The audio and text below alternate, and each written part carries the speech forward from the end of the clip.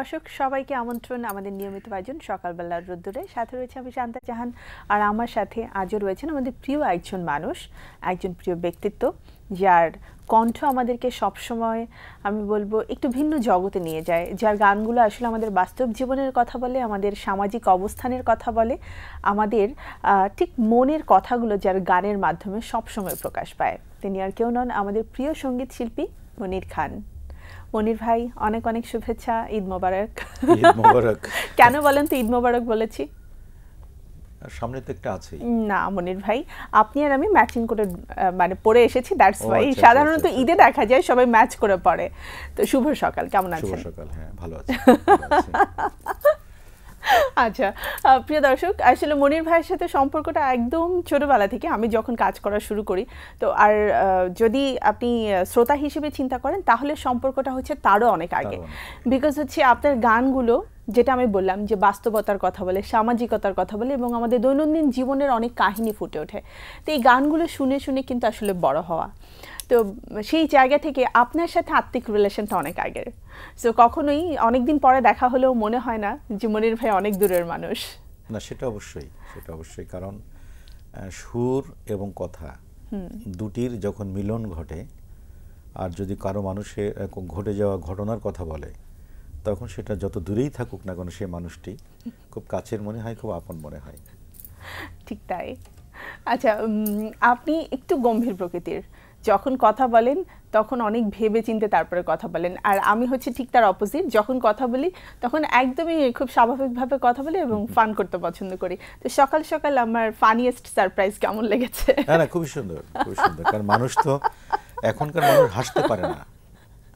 হাসতে চেষ্টা করলেও হাসতে পারে না। পারিপার্শ্বিক অবস্থা সামাজিক অবস্থা নিজের মনের অবস্থা সব কিছু মিলিয়ে মানুষের ভিতরের হাসিটা কমে যাচ্ছে দিন দিন। আচ্ছা। যে প্রাণ খুলে হেসে ওঠা প্রাণ খুলে কথা বলা যাই বলছি তাই যেন মানুষের কাছে খারাপ মনে হচ্ছে যাই করতে যাচ্ছি তা যেন মানুষের কাছে মানানসই হচ্ছে না। এরকম একটা পরিস্থিতিতে মধ্যে পড়ে গেছি আমরা। যে কি যে পছন্দ কি যে দরকার। সেই জায়গা থেকে নিজেকে যতটা আনন্দিত রাখা আমি ওই জায়গায় আসতে নিজে ভালো হ্যাঁ, থাকাটা সেই জায়গা থেকে উতরিয়ে নিজেকে প্রকাশ করা এবং নিজেকে উৎফুল্ল রাখা এটা এটা শান্তার জন্য সম্ভব। Thank you it's a pleasure তো মনির ভাই আমরা তো শুরু করছি এবং যে মানুষের আসলে কণ্ঠের দ্বারা সে সবার কাছে এতটা প্রিয় হয়ে উঠেছে তার কণ্ঠে একটা গান দিয়ে আমরা শুরু করতে চাই। আরও অনেক আড্ডা হবে অনেক কথা হবে ইনফ্যাক্ট তো একটা গান শুনব তারপরে বাকি আড্ডায় যাব। আচ্ছা এক- একটু অংশ বিশেষ হ্যাঁ, ছোট করে। গান তো আসলে ইনস্ট্রুমেন্ট নাই খালি হ্যাঁ গলায় জাস্ট ছোট করে খালি গলায় আমরা শুনতে চাই। ঠিক আছে। সকালে হারমোনিয়াম আমার বাবা একটি হারমোনিয়াম কিনে দিয়েছিলেন। সেই হারমোনিয়াম দিয়েই মূলত গলা সাধা। আমি বাবাকে বলেছি আস্তে আস্তে যে আমার অনুষ্ঠানটা আপনি দেখবেন। আচ্ছা। একটু অসুস্থ। তো বলল ঠিক আছে বাবা আমি দেখব। তো সকালটা বাবার গান দিয়ে শুরু করি।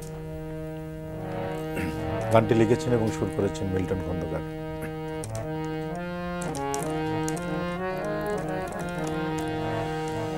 বাবা তোমার ছেলে আজ বড় হয়েছে। চারিদিকে কত সুনাম। তোমার কারণে, বাবা, তোমার কারণে তুমি কিনে দিয়েছিলে হারমোনিয়াম। তুমি কিনে দিয়েছিলে হারমোনিয়াম। বাবা, সেই থেকে শুরু। পড়াশোনায় আর গান গাওয়া। অখ্যাত গায়কের বিখ্যাত হতে চাওয়া। তোমার আদেশ ছিল বড় হতে হবে, পেতে হবে দাম। তাই তুমি কিনে দিয়েছিলে হারমোনিয়াম, তুমি কিনে দিয়েছিলে হারমোনিয়াম।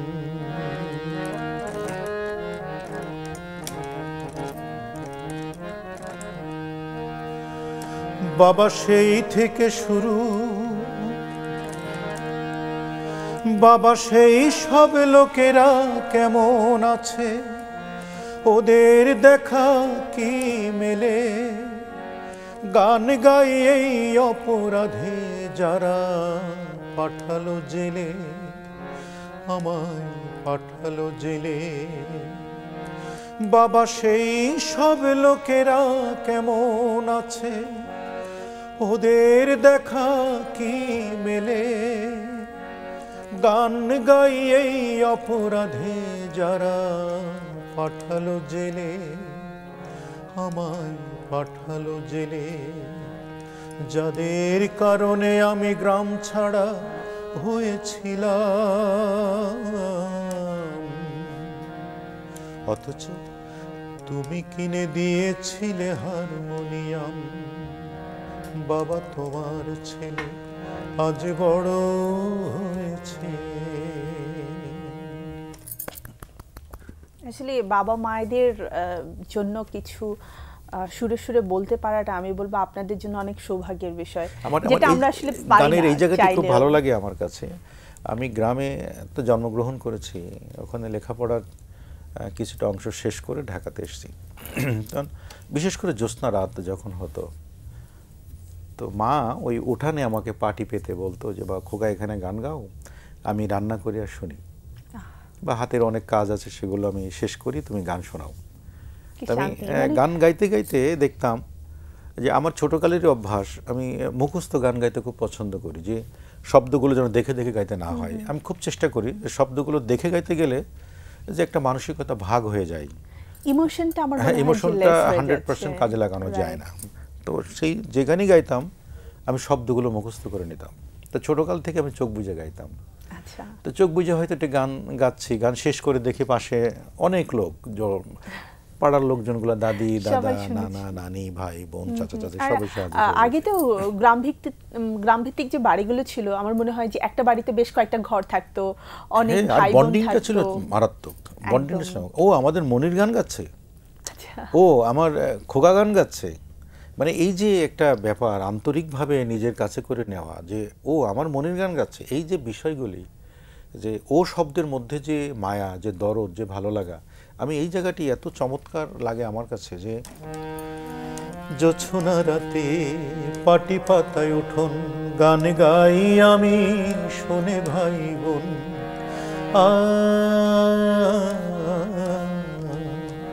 জোছনা রাতে পাটি পাতায় উঠোন, গান গাই আমি শোনে ভাই বোন।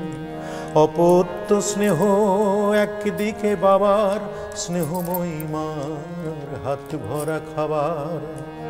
আহা, সেই দিন যদি আমি নতুন করে ফিরে পেতাম, গান শোনাতাম, বাবা গান শোনাতাম।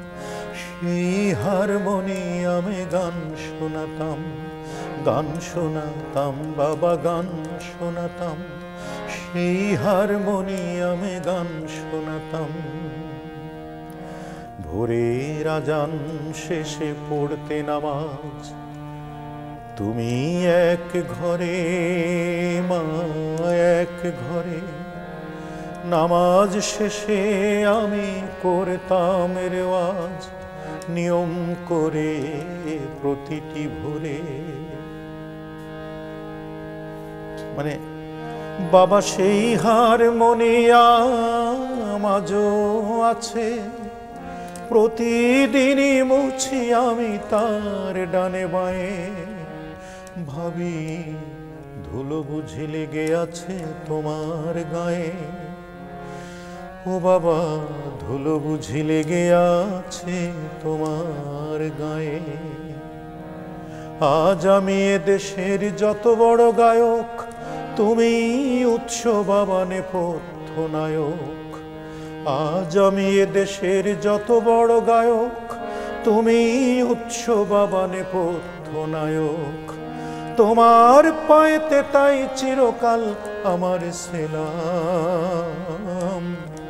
তুমি কিনে দিয়েছিলে হারমোনিয়াম, তুমি কিনে দিয়েছিলে হারমোনিয়াম। বাবা, তোমার ছেলে আজ বড় হয়েছে। বাবা, তোমার আশা আজ পূরণ হয়েছে। বাবা, তোমার খোকা আজ গায়ক হয়েছে। বাবা, তোমার ছেলে আজ গায়ক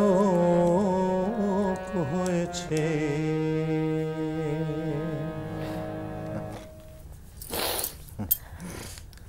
আসলে বাবা শব্দটা এতটা অর্থবহ একটা শব্দ। আমাকে কেউ যদি প্রশ্ন করে ভাইয়া যে তোমার জীবনের নায়ককে কার দ্বারা তুমি ইন্সপায়ার্ড হয়েছো? তা আমি বলি যে আমার জীবনের না আমার মনে হয় প্রতিটা সন্তানের জীবনের সুপার হিরো হচ্ছে তার বাবা। সে তার বাবার দ্বারাই ইন্সপায়ার্ড হয় তাকে কি করতে হবে, কীভাবে করতে হবে এবং বাবার যে, আমাদের বাবারা কিন্তু মানে বাচ্চাদেরকে কিছু স্বরলোক্তি দিয়ে যায়। মিথ্যা বলবে না, অসৎ পথে চলবে না, এটা করবে না, সেটা করবে না আরও অনেক কিছু। হয়তো সে হাত ধরে হাঁটছে আর তখন অনেক কথা বলছে। সেই কথাগুলোই আসলে আজীবন থেকে যায়। আর মা হচ্ছেন সেই নেপথ্য নায়কের পেছনে যে আরেকটা নায়ক বা নায়িকা তৈরি হবে, তাকে পৃষ্ঠপোষকতা করে বড় করে। মা এবং বাবা মানে কোনোটিকেই অধিক গুরুত্ব বা গুরুত্ব কম দেওয়ার কোনো কারণ কারণেই যেন ভাবা ভাবা যায় না সুযোগ নেই। কারণ বাবা হচ্ছেন বাইরে ব্যস্ত থাকেন স্বাভাবিকভাবেই। যতটুকু সময় পান ততটুকু সময়ে সে তার নীতি বা নৈতিকতাগুলো তার সন্তানের মাঝে দেওয়ার চেষ্টা করতেন আর বা করেন। আর মা হচ্ছেন তাকে পৃষ্ঠপোষকতা করে কি করে লালন পালন করে বড় করবেন সেই কাজটা করেন। আমি যেমন বললাম যে গান যখন গাইতাম যে পাটি পাতা উঠানে চোখ বুজে গাচ্ছি মা দেখা গেল খাবার এনে গালে দিচ্ছে একটু খেয়ে নাও। তা এই যে বাবার দূরে দেখার স্বপ্ন বাস্তবায়ন করার যে চেষ্টা যে খোকাকে এই পথে দিলে হয়তো সে তার লাইফটা গড়ে নিতে পারবে এই যে দূরে দেখছে। আর মা কাছে থেকে বাবার স্বপ্নকে পূরণ করার জন্য যত সহযোগিতা করার সে করে দিচ্ছে। এই জন্য একে অপরের মধ্যে যে প্রতিযোগিতা যে আমার সন্তানকে সবার সন্তানের চেয়ে একটু বড় করতে হবে ভালো করতে হবে ভালো দেখতে হবে ভালো জানাতে হবে ভালো বোঝাতে হবে। মানে আমার মনে হয় যে বাবা মার খুব ইচ্ছে থাকে যে আমি আমার সন্তানের দ্বারা পরিচিত হব। যে আমার সন্তানের এতটাই নাম হবে বা মানুষ তাকে এতটাই ভালোবাসবে যে আমার সন্তানের সেই স্বীকৃতি এবং প্রাপ্তি দেখে আমি আনন্দিত হব। আপনার কথার সাথে আমি একবারেই একমত। আমার বাবা এখন খুব অহংকার করে বলে। আমার বাবা কিন্তু খুব প্রবীণ শিক্ষক। উনিশশো একান্ন সালে উনি মেট্রিক পাস করেছেন। তখন ওই আচ্ছা। এলাকায় মেট্রিক পাসের সংখ্যা খুব একটা ছিল না। হাতে গোনা হয়তো একটা এলাকায় একজন ছিল। তো উনি শিক্ষক হিসেবে খুব নাম করা একজন শিক্ষক। সবার কাছে প্রিয় স্যার। তা আমি যখন ছোট ছিলাম বা যখন ইন্টারমিডিয়েট পর্যন্ত বাড়িতে ছিলাম দেখতাম সবাই আসতো সালাম করতে ঈদে বা বিভিন্ন ইয়েতে রেজাল্ট পরে বাচ্চারা সব দলে দলে আসতো শিক্ষকের আশীর্বাদ নেওয়ার একটা রেওয়াজ। এখনও দেখি অনেকেই আসে। তো বাবা খুব হাসি হাসি মুখে বলে যে আগে আমি স্যার হিসেবে খুব পরিচিত ছিলাম এখন মনির খানের বাবা হিসেবে পরিচিত। এটাই আসলে তার হ্যাঁ, জীবনের সবচেয়ে বড় দারুণ একটা মিল যে প্রতিটা সন্তানের বাবাই কিন্তু এটা চাই রাইট চাই যে অমুকের ছেলে পরে অমুকের বাবা। আচ্ছা এখন আমার জানার বিষয় হচ্ছে হ্যাঁ ভালোবাসার গান করেছেন, কিন্তু আমরা ভালোবাসার গানের মাঝেও আপনার বাস্তবতাকে অনেকখানি খুঁজে পেয়েছি। এবং বাস্তবধর্মী গান, যে গানগুলো আসলে মানুষের হৃদয়ের কথা, যে আমি বললাম, আপনি খুব লাকি যে আপনি সুরে সুরে আপনার বাবা মায়ের জন্য যে ভালোবাসা আছে, তাদের প্রতি যে ফিল আছে, সেটাকে তুলে ধরতে পারেন। যেটা আমরা হচ্ছে শুনে ফিল করতে পারি বলতে পারি না এভাবে। কিন্তু বাস্তবধর্মী গানের প্রতি আপনার মানে কেন যাত্রাটা শুরু হলো? কেন মনে হলো যে বাস্তবধর্মী গানগুলোই আমাকে বেশি টানে অথবা আমার দর্শকদের শ্রোতাদের জন্য আসলে বাস্তবতার বাইরে কিছু নাই তো। বাস্তবতার বাইরে জানিয়ে আমরা চলবো বা যে কর্মটা করার চেষ্টা করব সেটা সম্পূর্ণ বৃথা হবে। কারণ আপনি বাস্তবকে অস্বীকার করে অবাস্তব কোনো কিছু বাস্তবে পরিণত করা খুবই কঠিন। এর অবাস্তব তো অবাস্তবই। কারণ আপনার জীবনে যে জিনিসটি ঘটে যাচ্ছে সেটা প্রেমের কারণেই হোক আপনার জীবন গড়ে তোলার পরে কোনো কিছু পাওয়ার আশাই হোক সব কিছুই কিন্তু বাস্তবতার সাথে আপনার যুদ্ধটা মিলে যাচ্ছে। যদি বাস্তব যুদ্ধের সাথে আপনি তাল মিলিয়ে যুদ্ধটা যদি সার্থকভাবে সমাপ্ত না করতে পারেন তাহলে তো আপনার জীবনটা পরিপূর্ণ হলো না। অবাস্তব কোনো কিছু নিয়ে করতে গেলে আপনি মানুষের সাপোর্টও পাবেন না। একটা সময় মানসিকভাবে হতাশাগ্রস্ত হতে হবে। এই জন্য প্রতিটা মানুষের বেশি দিন মনে রাখে না। প্রেমে ব্যর্থ। আমি চাকরি পাচ্ছি না সে একটা কষ্ট। আমি পড়াশোনা করে বেকার আছি সে একটা কষ্ট। বাবা আমার কাছে বোঝা হয়ে আছে সে একটা কষ্ট। আমি আমার পরিবারের কাছে একজন স্বামী হিসেবে বা বাবা হিসেবে বা বাবার সন্তান হিসেবে আমি ভালো কিছু করতে পারতেছি না সে একটা কষ্ট। সবই কিন্তু বাস্তবতা। এই বাস্তবতার আলোকে যদি শব্দগুলো গুছিয়ে নিয়ে আপনার মনের গোপনের কথাগুলো যদি আমি প্রকাশ্যে বলার চেষ্টা করি সেই জিনিসটি আপনার কাছে মধুর চেয়ে মিষ্টি হবে। আচ্ছা এখন আরেকটা গোপন কথা জানার আছে মনির ভাই সেটা হচ্ছে অঞ্জনা ফ্যাক্ট সেই অঞ্জনার মানে নেপথ্যের গল্পটা একটু বলবেন প্লিজ এটা গোপন জিনিস গোপনে থাকাই ভালো। না একটু শুনি। হ্যাঁ। অনেক বছর হয়ে গেছে এখন বোধহয় আপনি বলে দিলেও পারেন। মানে গোপন জিনিসটি এত আপন করে সামনে আনার কোনো দরকার নেই। হ্যাঁ এটা স্বপনের মধ্যেই থাক। কিন্তু গানটি তো শুনতে ইচ্ছে করছে। প্রতিটি মানুষের জীবনেই কিছু না কিছু ঘটনা ঘটে থাকে। এটা হয়তো আহ, এক একজনের প্রকাশভঙ্গি এক এক রকম এটি সবার জীবনে শুধু একটা বিষয় বলেন সেটা হচ্ছে অঞ্জনা নামটি কি আপনার ব্যক্তিগত জীবনের সাথে রিলেটেড হ্যাঁ অথবা না? এটি ব্যক্তিগত জীবনটা অনেকের ব্যক্তিগত জীবনের সাথে। হ্যাঁ আমি তো অনেকের কথা বলি মানুষের কথা বলি। হ্যাঁ অঞ্জনা নিয়ে গান করেছেন আপনি কিন্তু দেখা গেছে অঞ্জনা আসলে আপনার সব শ্রোতাদের হয়ে গেছে। যারা মনির খানের ফ্যান আছে তাদের সবার কাছে অঞ্জনা হচ্ছে। একটা মানে আমার মনে হয় যে একটা জায়গা করে নিয়েছে। আমি যখন মঞ্চে গান গাইতে যাই তখন হাজার হাজার মানুষ সামনে থাকে যারা বিশেষ করে এই সমস্ত ঘটনার সাথে নিজেকে নায়ক ভাবে বা নিজেকে নায়িকা ভাবে। যে আমি অমকের নায়ক বা আমি অমক অমক আমার নায়িকা আছে না এরকম? যখন একটু ব্যর্থ হয় যখন ফাটল ধরে তখন তাদের কাছে যে কি প্রিয় মানুষ আমি চিৎকার করে বলেন মনির ভাই আপনার জন্য বেঁচে আছি আমি তো ধাপে ধাপে হ্যাঁ। আসতে চাই বিকজ আপনার আমি আমার অডিও এবং ঠিক অডিওর পরপর অডিওর বেলায় হয়তো একটু বেশি ছোট ছিলাম তখন হয়তো ওভাবে করে শোনা হয়নি বাট সিডি যখন আসলো। আমার বাসায় আপনার এত এত এত সিরিজ ছিল যে মানে ইটস এ লট এবং এমনও সময় গেছে হয়তো সকাল থেকে নিয়ে মানে সন্ধে পর্যন্ত টানা গান চলছে এবং আহ, একটার পর একটা সিডি চেঞ্জ হচ্ছে চলছেই। দ্যাট ওয়াজ মনির খান তো আপনার অঞ্জনা নিয়ে প্রথম যে গানটি আছে সেটি শুনব কারণ অঞ্জনার আপনার বেশ কয়েকটি পার্ট আছে। তো প্রথম গানটি একটু সৃষ্টির নেপথ্যের গল্পটা বলবেন এবং সেই সাথে গানটা শুনব। এই গানটি সৃষ্টি হলো মিল্টন খন্দকার এবং আমি। আমি মিল্টন খন্দকারের কিন্তু আমার সঙ্গীতের পিতা মেনেছি। বাবা মা আমাকে সন্তান হিসেবে পৃথিবীতে আনছেন কিন্তু সঙ্গীতে জন্ম দিয়েছেন মিল্টন খন্দকার। অনেক উস্তাদ আমার রয়েছেন। কারণ সংগীত তো গুরুমুখী বিদ্যা। অবশ্যই। পুঁথিগত বিদ্যা নিয়ে সঙ্গীতের নিজেকে প্রমাণ করা খুব কঠিন। আমি জানতে পারি বুঝতে পারি উস্তাদ হওয়া যাবে। কিন্তু একজন মনিখান হিসেবে প্রতিষ্ঠিত করতে গেলে মানুষের কাছে চিহ্নিত ব্যক্তি হতে গেলে গুরু ধরতে হবে। তো সেই যখন অনেকের কাছে গান শিখলাম সেই শুরুর যিনি আমার গুরু ছিলেন রেজা খসরু উনি মারা গেছেন। অনেকেই মারা গেছেন যারা আমার হাতে কলমে শিখিয়েছেন। তাদের সবারই আত্মার মাগফরাত করছেন যারা বেঁচে আছেন তাদের সুস্থতা কামনা করছি। ঢাকাতে আসার পরে মিল্টন খন্দকারের সন্ধানে দীর্ঘদিন আমি ঘোরাফেরা করেছি। উনি যেখানে যেখানে কাজ করতেন, যেতেন, সন্ধান নিয়ে সেখানে যেতাম। পেতে অনেক দেরি হয়েছে, শেষ পর্যন্ত পেলাম এবং উনি অসাধারণ একজন মানুষ। যে আমাকে প্রথম দিনই বুকে টেনে নিয়ে উনি খুব আদর করে আমাকে বললেন কি সমস্যা আমাকে আমি কেঁদে দিয়েছিলাম। অনেকদিন পাই নাই তাকে পাওয়ার যে আনন্দ। সেই আনন্দে। এই আনন্দে আমি কেঁদে দিয়েছি এবং ওনার আদর এবং ওনার স্নেহ ভালোবাসাটা আমাকে একদম সারা জীবনের সঙ্গী করে রেখেছে। অবশ্যই। আমি একটু বলতে চাই আপনার সাথে তাল মিলিয়ে সেটা হচ্ছে মিল্টন খন্দকার ভাই। ওনার সাথে প্রথম যখন আমার দেখা হয় আমি জানতাম না যে উনি মিল্টন খন্দকার। সামহাও ওনার ছবি আমরা কাভার পেজে দেখেছি আগের ইয়েগুলোতে বাট সামনাসামনি যেহেতু দেখা হয়নি সো আমার চিনতে একটু কষ্ট হয়েছে। বাট ওনার সাথে আমি বসছি গল্প করছি বেশ খানিকক্ষণ। উনি এতটাই অমায়িক এতটাই সুন্দর। বাংলাদেশ টেলিভিশনে আমার সাথে ওনার দেখা হয়েছিল। তো মানে তার অমায়িকতায় আসলে বোঝার কোনো উপায় নেই যে এই মানুষটির হাত ধরে এত এত অমর সৃষ্টি হয়েছে আমাদের বাংলা সঙ্গীতে। আমরা গুনতে গিয়ে বলি না যে বাংলাদেশে ষোলো কোটি জনসংখ্যা বা সতেরো কোটি জনসংখ্যা বা বিশ কোটির কাছাকাছি জনসংখ্যাটা উল্লেখ করি। জনসংখ্যা ষোলো কোটি বা সতেরো কোটি কিন্তু মানুষ কম। অবশ্যই।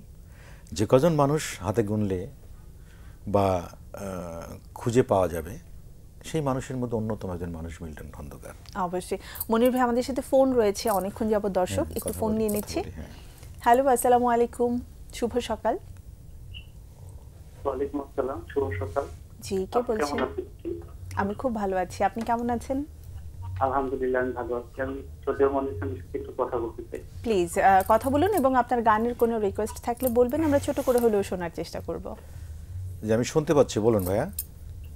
জি আমি নাটক থেকে সজল আহমেদ বলছি। সজল ভালো আছো তুমি?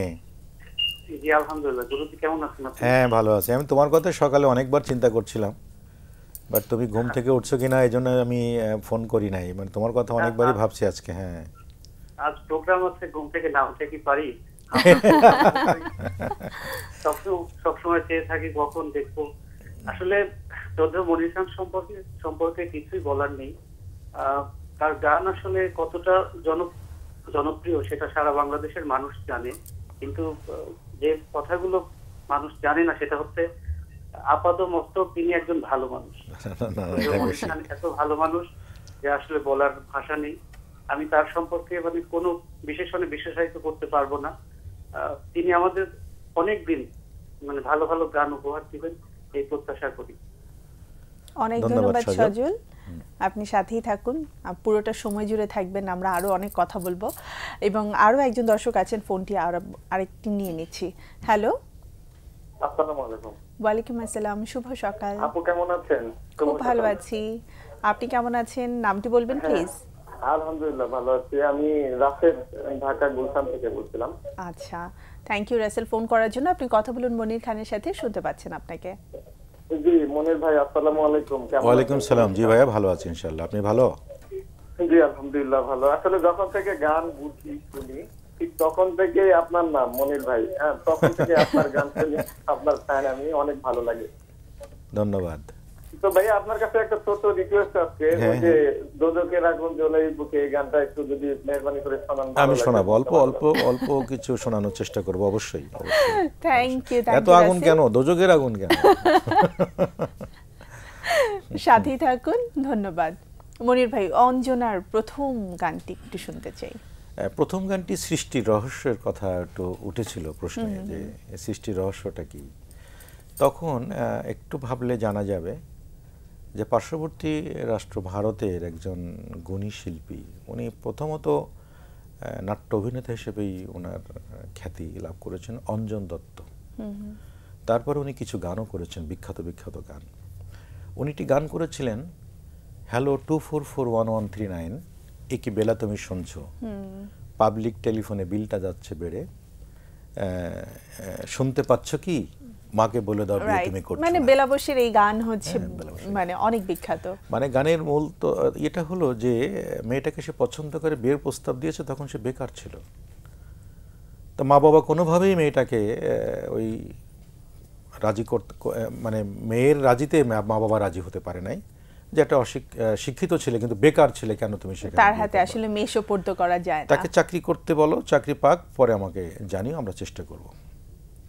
এই কথা যখন বেলা তাকে জানালো তখন সে চাকরির জন্য পাগল হয়ে গেল। যখন চাকরি পেয়ে ও অ্যাপয়েন্টমেন্ট লেটারটা নিয়ে বেলাকে ফোন করছে তখন মা বাবা বেলাকে আটকিয়ে দিয়েছে। এর মধ্যে বেলার বিয়ে ঠিক হয়ে গেছে। তখন ও চিৎকার করে টেলিফোনের ওই ইয়েতে মাথা কুটে কুটে বলছে hello two four four one one three বেলাকে দিন না একটু ডেকে পাবলিক টেলিফোনে বিলটা যাচ্ছে বেড়ে আমি চাকরিটা পেয়ে গেছি বেলা সত্যি মাকে বলে দাও বিয়ে তুমি করছ না। তখন এই ঘটনার ঘটনার মানে প্রেক্ষাপটে মিল্টন ভাইয়ের সাথে আমি একটা গল্প বলেছিলাম। নিজের জীবনের? ঘটনার পরিপ্রেক্ষিতে আমি বলেছি। গল্পটি বলার পরে উনি সাথে সাথে চিন্তা করে তখন কিন্তু এই গানটি সম্পর্কে আমি পরিষ্কার করে জানতাম না। তখন উনি ঠিক ওইটার একটা আদলে অঞ্জনা হয়তো এই গান তুমি শুনছো না নাকি শুনছো? নাকি নিভৃতে নির্জনে একা একা মনে মনে তোমার বুকের কোণে অন্য কারও ঘর বুনছো নাকি বুনছো না? হবে হবে বলে যে চাকরিটা হচ্ছে না, এইবার ছিকে বুঝে ছিড়ল। অ্যাপয়েন্টমেন্ট ওই লেটারটা টুপ করে এই বুঝে হাতে এসে পড়ল। আমি যে বেকার নই, এই কথা শুনে নাও। হ্যাঁ আমাকে পেয়ে তোমার মুছে যাবে হৃদয়ের যন্ত্রণা ও অঞ্জনা। ঠিক ওইটার আদলে এটা করলেন। ওই যে অঞ্জন দত্তকে আমরা এই নামটাকে ওইভাবে ই করে যে অঞ্জনা করে নিলাম। তো হয় কি মানুষ হতে মানুষের সৃষ্টি কথা থেকে কথা সৃষ্টি সুর থেকে সুরের সৃষ্টি তাহলে কি আপনার এই গান থেকেই পরবর্তীতে অঞ্জন দত্তের আবার পরবর্তী গান যে অঞ্জনা আমি আর আসব না এমন কিছু? উনি রঞ্জনা। রঞ্জনা রাইট রঞ্জনা রঞ্জনা। অনেক হয়েছে যেমন আমাদের বাংলাদেশের আমাদের ফকির আলম ঘর ছিল সকিনা ছিল। আমাদের পার্শ্ববর্তী রাষ্ট্রের বিখ্যাত শিল্পী নচিকেতার নীলাঞ্জনা। বিভিন্ন ধরনের বিভিন্ন শিরোনামে অনেকে করে। নাসিব করেছিল প্রিয়া তুমি কোথায়? আসে এক একটা মানুষের এক একটা ই থাকে টার্গেট থাকে যে আমি এটা নিয়ে একটু এগিয়ে যেতে চাই। তো যাই হোক আমরা একটু শুনে নিই? জি জি জি।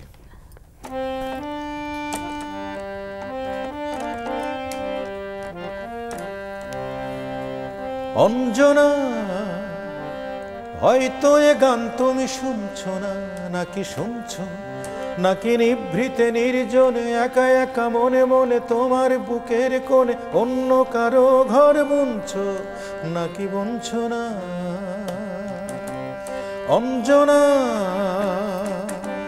হয়তো এ গান তুমি শুনছ না, নাকি শুনছো?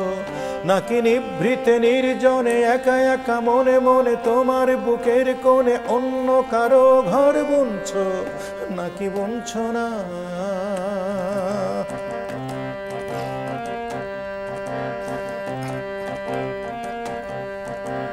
হবে হবে বলে যে চাকরিটা হচ্ছে না, এইবার ছিকে বুঝে ছিড়িল। অ্যাপয়েন্টমেন্ট ওই লেটারটা টুপ করে এই বুঝে হাতে এসে পড়ল। হবে হবে বলে যে চাকরিটা হচ্ছে না, এইবার ছিকে বুঝে ছিড়ল। অ্যাপয়েন্টমেন্ট ওই লেটারটা টুক করে এই বুঝি হাতে এসে পড়ল। তোমার বাবাকে সপ সপ বলে দাও, আমি যে বেকার নই, এই কথা শুনে নাও। তোমার বাবাকে সপ সপ বলে দাও, আমি যে বেকার নই, এই কথা শুনে নাও। আমাকে পেয়ে তোমার মুছে যাবে হৃদয়ের যন্ত্রণা, অঞ্জনা। হয়তো এ গান তুমি শুনছো না নাকি শুনছ? নাকি নিভৃতে নির্জনে একা একা মনে মনে তোমার বুকের কোণে অন্য কারও ঘর বুনছো? নাকি বুনছো না? খুব চমৎকার মডার্ন মেলোডি নিয়ে গানটা করা হয়েছিল। এবং সেটা কিন্তু এটা প্রায় তিরানব্বই সালে গানটি করা। আমি অনেক পরে শুনেছি। কিন্তু গানটি অসাধারণ ছিল এবং আমার মনে হয় যে নাইনটি থ্রিতে করলেও আজকে টু থাউজেন্ড নাইনটিনে সেই গানটি কোনোভাবে পুরাতন আধুনিকতার সেই জায়গাটি দখল করে একদমই। তো আমরা আরও অনেক কথা শুনব ছোট ছোট করে গানও শুনতে চাই তার আগে ছোট্ট একটা বিরতি নিয়ে নিচ্ছি। প্রিয় দর্শক আড্ডা হচ্ছিল আমাদের প্রিয় মানুষ মনির খানের সাথে। আরও একবার ফিরে আসব আড্ডায় তার আগে ছোট্ট বিরতির সাথেই থাকুন আমাদের।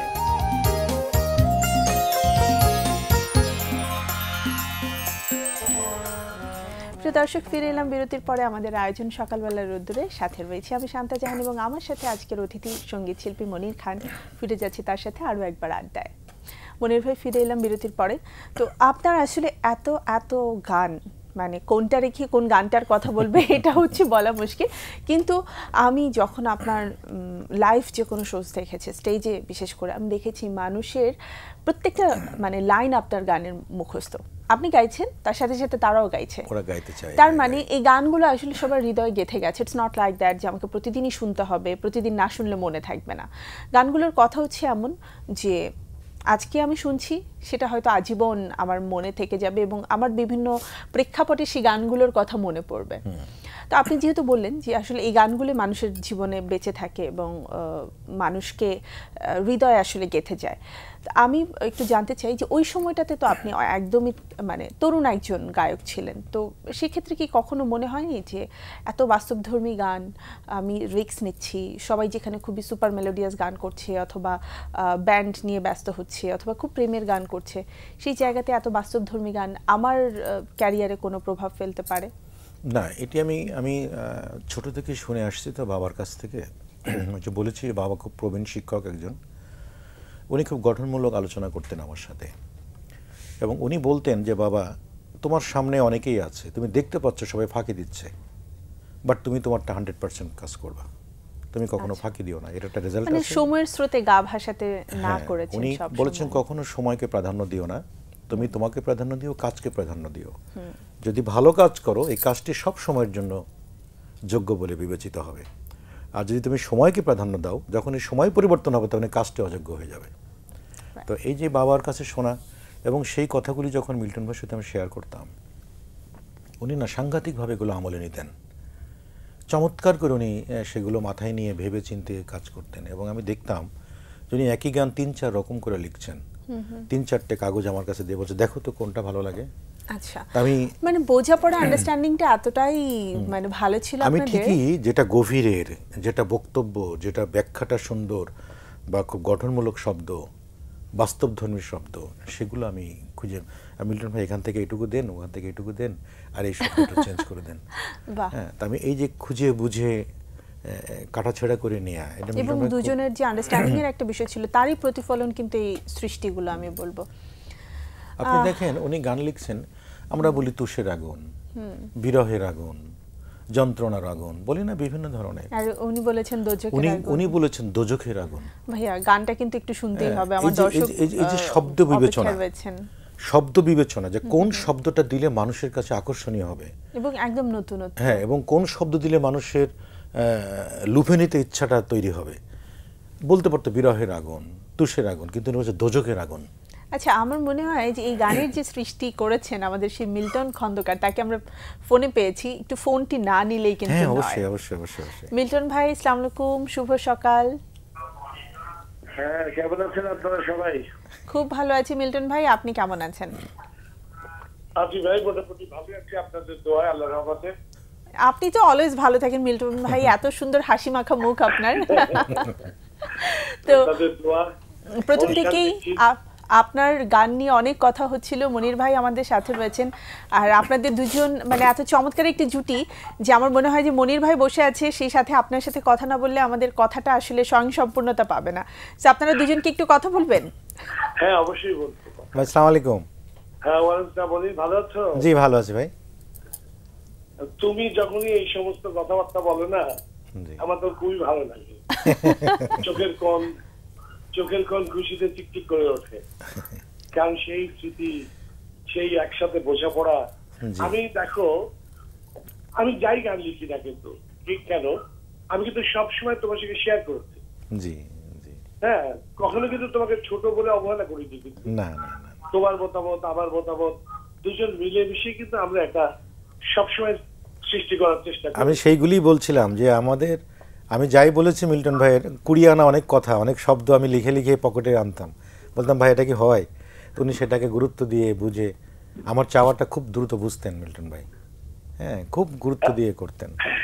আর একটা ব্যাপার আমি তোমাকে এই সুযোগে বলি অনেকে আমাকে অভিযোগ করে যে আমি নাকি স্পেশালি মনির খানকে ভালো ভালো গান ভালো ভালো সুর করে দিই।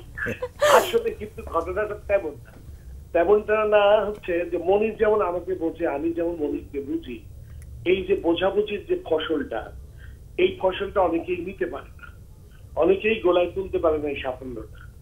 যার ফলে হয়- কি যে ঠিক চাওয়া মতো, পাওয়া মতো হয় না কোনো কিছু। সেই কারণেই অনেকে অভিযোগ করেন যে মনিরের গানগুলো আমি আসলে বেশি দেই। আমার এমন ঘটনাও ঘটেছে যে যে গানটি আমি মনিরকে দেবো বলে স্থির করেছি, আমি হয়তো সেই গানটি মনিরকে না দিয়ে যারা আমাকে এই অভিযোগ করতো তাদেরকে দিয়েছি। দেওয়ার ফলে কিন্তু কাঙ্ক্ষিত রেজাল্টটা পাইনি। তখন ওরাই কিন্তু এই গানটা বাদ দিয়ে দিয়েছে। আবার আমি ওই গানটা তুলে নিয়েই কিন্তু মনিরকে দিয়ে গাইছি সেই গান কিন্তু সারা বাংলাদেশের লোক শুনেছে। আসলে যে বলা গানটাও তো একটা গল্প, একটা স্টোরি একটা। এটা একটু বলা, সুন্দর করে বলতে পারা, উপস্থাপন করতে পারা কিন্তু একটা শিল্পীর দায়িত্ব। শুধুমাত্রই গীতিকবি ভালো গান লিখলে সুরস্রষ্টা ভালো সুর করলেই ভালো গান হবে তা কিন্তু না। এই শিল্পীরও একটা বিশাল ভূমিকা থাকে। সেও কিন্তু গানটাকে প্রাণবন্ত করার জন্য, প্রাণ দেওয়ার জন্য চেষ্টা করতে হবে তাকে। এই তিনের সমন্বয়ে কোথাও একটু ঘাটতি, একটু কমতি থাকলেই গান কিন্তু আর গান হয়ে ওঠে না। এই জিনিসটা অনেকে বোঝাতে পারি না। আমি আমি বলতে চাই মানে দ্বিধাহীন চিত্তে যে মনিরের সাথে আমার এই বোঝাপড়াটা একশো একশো। আসলে মিল্টন ভাই আমার মনে হয় যে আপনাদের দুজনের এত জমে থাকা কথা আছে যে কথাগুলো আসলে ছোট্ট ফোন করলে কখনোই শোনা সম্ভব হ্যাঁ, নয়। হ্যাঁ, আমি অবশ্যই বলব বাংলা ভিশনকে যে আপনাদের দুজনকে সহকারে আমাকে একদিন যেন সুযোগ করে দেওয়া হয়। আমরা যেন অনেক আড্ডা দিতে পারি। সেটা আমিও চাই সেটা আমিও চাই। অবশ্যই। তো মিল্টন ভাই আজকের অনুষ্ঠান ভালো লাগছে বলি। তোমাকেও ভালো লাগছে শান্তাকেও ভালো লাগছে তোমাদের. সমস্ত দোয়া রইল ভালো থেকো ভাই। অসংখ্য ধন্যবাদ। মিল্টন ভাই সাথেই থাকুন আমাদের।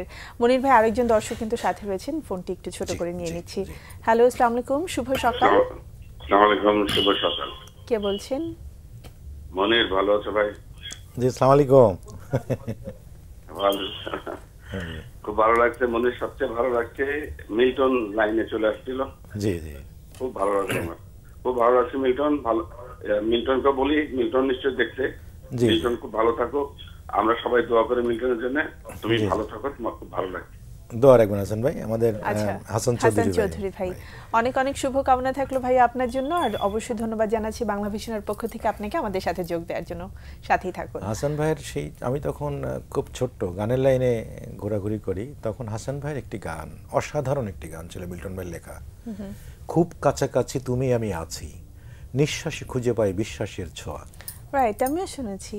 খুব মানে মিল্টন ভাই লেখার মধ্যে যে একটা হ্যাঁ আছে। হ্যাঁ। এই যে মিল্টন ভাই লেখার মধ্যে যে একটা মানে অসাধারণ কি বলা যায় এটা আমার মনে হয় মিল্টন ভাই মানে সামহাও সে বোঝেন যে কাকে দিয়ে কোন গানটা করালে হ্যাঁ, সেটা শ্রোতাদের কাছে অনেক ভালো লাগবে। আচ্ছা মনির ভাই আসলে আমি কি বলব? আপনার তো বলেছি প্রথমে যে এত গানের সংখ্যা যে কোনটা রেখে কোনটার কথা বলব আমার তো সময় কাটবে না। হ্যাঁ আমার যে একটা ছেলে অনুরোধ করেছিল দোজকের আগুন। আমি একটু ছোট ছোট করে আমরা। পছন্দের গানগুলো থেকে শুনি। দোজখের আগুন জলে বুকে। এ যে কি ভীষণ যন্ত্রণা। ঘুম নেই চোখে, রাত জেগে থাকা, সে যে কি ভীষণ যন্ত্রণা। কাউকে বলা তো যায় না, একবার দেখাও গেল না। অঞ্জনা রে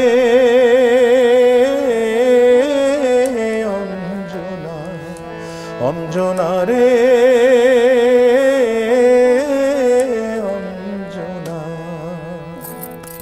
এটা হচ্ছে অঞ্জনার পরবর্তী দিককার ভার্সন হ্যাঁ। কিন্তু আমার মনে হয় যে যারা প্রবাসে আছে তাদের খুব পছন্দের একটা গান রয়েছে যেটা আমার কাছেও খুব ভালো লাগে বউ চিঠি লিখেছে আমার ভাঙা ভাঙা হাতে হাতে হ্যাঁ। এই গানটা একটু হ্যাঁ আমি। গাইবো এই গানটি বা এই কিছু গান আছে যে আটানার জীবন প্রেমের তাজমহল এই গানগুলি লিখেছেন এবং সুর করেছিলেন আহমেদ ইমতিয়াজ বুলবুল।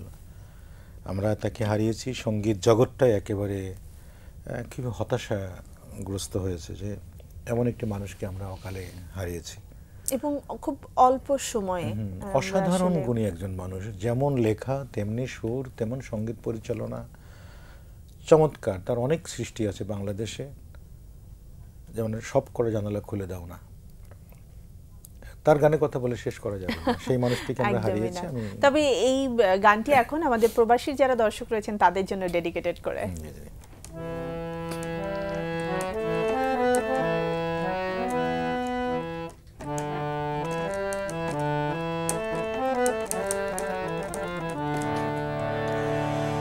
ও যেন শাশুড়ি না দেখে যেন ননদি না দেখে বউয়ের কাজল ধোয়া চোখের পানি লেগে আছে, তাতে চিঠি লিখেছে।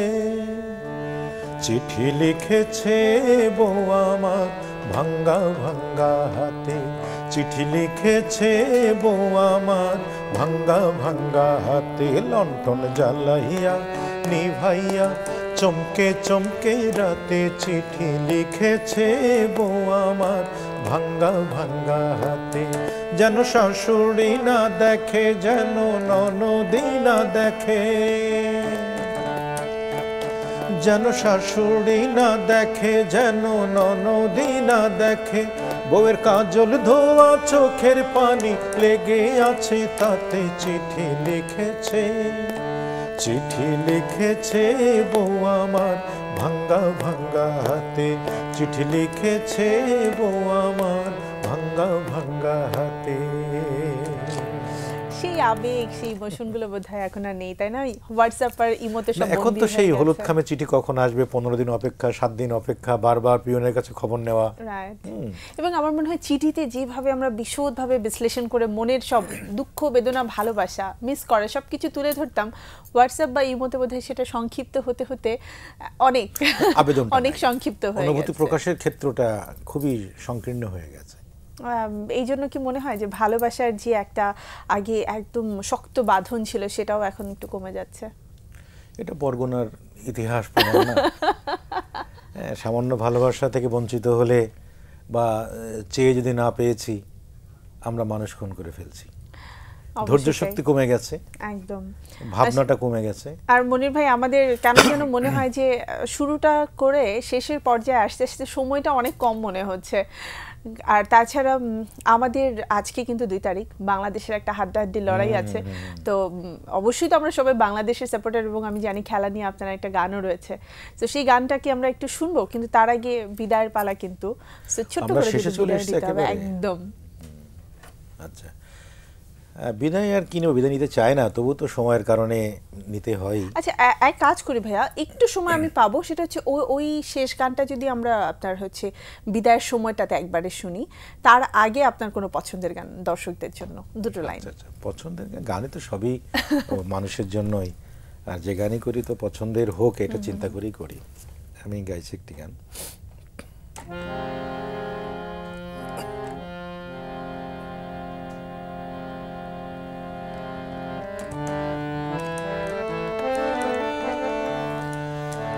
আটানার জীবন, চারানা ঘুমে দুই আনা প্রেমের ফাঁকি।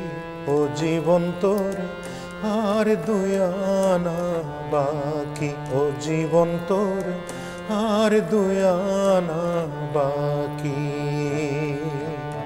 আটানার জীবন চারানা ঘুমে, দুই আনা প্রেমের ফাঁকি, ও জীবন তোর, আর দুই আনা বাকি। ও জীবন তোর, আর দুই বাকি। এটিও খুবই ভালো লাগার আরেকটি গান। তো কি বলব আসলে সময় খুব দ্রুত চলে গেছে। তো বিদায় নিয়ে আমরা খেলার গানটি শুনব। আপনি একটু ছোট করে দর্শকদের কাছে যদি বিদায় নিয়ে বিদায় নিতে চায় না তবু নিতে হচ্ছে। ভালো থাকবেন সবাই। বাংলাদেশের গান বেশি বেশি শুনবেন। বাংলাদেশকে ভালোবাসবেন। বাংলাদেশের মাটি এবং মানুষ এর থেকে আপন আর কেউ নাই। বাংলাদেশে খেলা আছে আজকে। আমরা এই দামাল ছেলেরা এই টাইগারেরা বীরের মতো খেলছেন। গত দুই তারিখে বাংলাদেশে খেলা শুরু হয়েছিল গত মাসের। আজকে দুই তারিখ। এক মাস হয়ে গেছে। আজকে বেশ হাড্ডাহাড্ডি যুদ্ধ হবে। আমি বিশ্বাস করি যুদ্ধে আমরা জয়ী হব। জয়ী হব। কারণ একাত্তরের স্বাধীনতা যুদ্ধ বায়ান্নর ভাষা আন্দোলন আমরা কখনো মাথা নিচু করি নাই। আজকের যুদ্ধে আমরা যে কোনো লড়াইয়ে আমরা এগিয়ে থাকব মাথা উঁচু করে দাঁড়াবো এটি আমাদের প্রত্যাশা। আমি মিল্টন ভাই, কথা প্রসঙ্গে বিশ্বকাপ নিয়ে একটা আলোচনা করতে গিয়ে বললাম যে, ভাই, বিশ্বকাপে একটি গান করা যায় কি না তিনি বললেন, কেন না? অনেক রকমের চিন্তাভাবনা করলাম। পরে আমরা দুজন মিলে একটি বুদ্ধি করলাম যে, না, সে একাত্তরে সেই বীরের রেশ ধরে আমরা এখানে আসি। আচ্ছা সো গানটি শুনতে চাই ভাইয়া তার আগে আমার বিদায় নিতে হবে। কিন্তু আপনাকে আমি অবশ্যই বলব আপনার নতুন যে কাজগুলো রয়েছে হয়তো ভাবে করে কথা বলার সুযোগ হয়নি আজ আবারও কথা বলার সুযোগ হবে। ভালো থাকবেন অনেক অনেক শুভকামনা। শুভকামনা প্রিয় দর্শক এই ছিল আমাদের আজকের আয়োজন। সময় একেবারেই শেষ তো চটজলদি বিদায় নিয়ে নিচ্ছি। ভালো থাকুন আপনারা দিনটি শুভ কাটুক আল্লাহ হাফেজ। গান শুনব। একাত্তরে গর্জে ওঠা সেই বাঙালি কই? জিতবে বলে বীর বাঙালি সেই আশাতে রই। একাত্তরে গর্জে ওঠা সেই বাঙালি কই? জিতব বলে বীর বাঙালি সেই আশাতে রই। বিশ্বকাপে খেলছে ক্রিকেট বাংলারই সন্তান। জয় ছিনিয়ে আনবে ওরা, রাখবে দেশের মান। বিশ্বকাপে খেলছে ক্রিকেট বাংলারই সন্তান। জয় ছিনিয়ে আনবে ওরা, রাখবে দেশের মান। ব্যাট হাতে তাই টাইগারেরা মারছে, দেখো ছয়। বিশ্বকাপে বিশ্ব সেরা বাংলাদেশের জয়। বিশ্বকাপে বিশ্ব সেরা বাংলাদেশের জয়। হবে জয় জয়, বাংলার জয়। জয় জয়, ক্রিকেটের জয়। হবে জয় জয়, বাংলার জয়। জয় জয়, ক্রিকেটের জয়। একাত্তরে গর্জে ওঠা সেই বাঙালি কই? জিতব বলে বীর বাঙালি সেই আশাতে রই। একাত্তরে গর্জে ওঠা সেই বাঙালি কই? জিতব বলে বীর বাঙালি সেই আশাতে।